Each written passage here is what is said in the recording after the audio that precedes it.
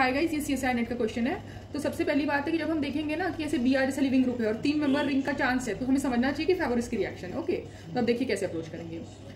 यहाँ से देखिए ये, इधर डिलोकलाइज होगा और ये क्या होगा? यहाँ जाएगा। यहाँ पे नेगेटिव चार्ज बनेगा। आप देखिए उसको बना के दिखाते हैं। ये ऐसे ऐसे ऐसे रहा। ये इधर, ये एन है। ठीक है? यहाँ डबल बॉन्ड है। यहाँ सी ओ है।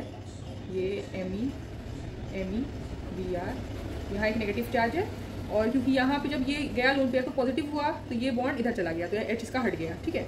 अब ये नेगेटिव चार्ज क्या यहाँ जाएगा और ये बी आर बाहर निकल जाएगा। ये है फेवरिस की रिएक्शन का स्टेप ओके अब हम बना लेते हैं इसका नेक्स्ट वाला। देखिए सी ओ ये ये ऐसे। यहाँ एक एम ई एक एम ई अब काम आएगा इस वाले का, ठीक है? तो ये कहाँ अटैक करेगा? जब भी आप देखिए कि ना एन है ना तो आप समझ जाइए कार्बोनिल पे ही अटैक करता है। तो M E N H two मतलब इसका लोन पेयर जाके यहाँ अटैक किया, ये इधर बना। अच्छा सॉरी हमने ये थोड़ा गड़बड़ बना दिया रुकिए ये ऐसे हुआ। ठीक है, ये ऐसे ये ऐसे ये ऐसे ऐसे ऐसे। तो यहाँ पे देखिए, ये ऐसे है C O minus N H M तो यहाँ पे भी हुआ ना कि जब एन एच टू प्लस था तो वो हाइड्रोजन वो जो बॉन्ड का इलेक्ट्रॉन है, वो पॉजिटिव चार्ज के पास गया तो एन एच एम हो गया, ठीक है? वो हुआ।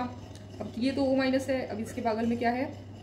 ये अभी ऐसे है और एम ई एम ई अब देखिए, ये रिंग ओपन होता है फेवरिस्की में ना तो ये किधर ओपन होगा? अगर इधर ओपन हुआ ना नेगेटिव चार्ज यहाँ है तो वो उतना स्टेबलाइज नहीं है, पर यहाँ अगर ओपन हुआ तो बहुत स्टेबल है, क्योंकि देखिए रेजोनेंस में आएगा तो इधर है, ये इधर ओपन हो गया रिंग ठीक है? अब देखिए क्या बनता है, ये हुआ टेन इधर तो ये इधर आया, ये इधर ओपन हो गया तो क्या बनेगा? नाइट्रोजन यहाँ भी डबल बॉन्ड है और नेगेटिव चार्ज ये इस तरफ़ जाएगा। तो ये बना ऐसे, ये एम इधर, ये एम इधर C O N H M E ठीक है? तो यहाँ नेगेटिव चार्ज ये क्या करेगा? इधर जाएगा इधर जाएगा, यहाँ पे कैच जाएगा?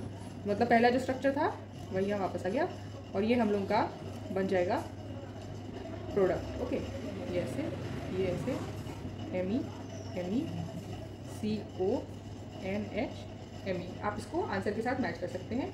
ये आपका आंसर होगा। Thank you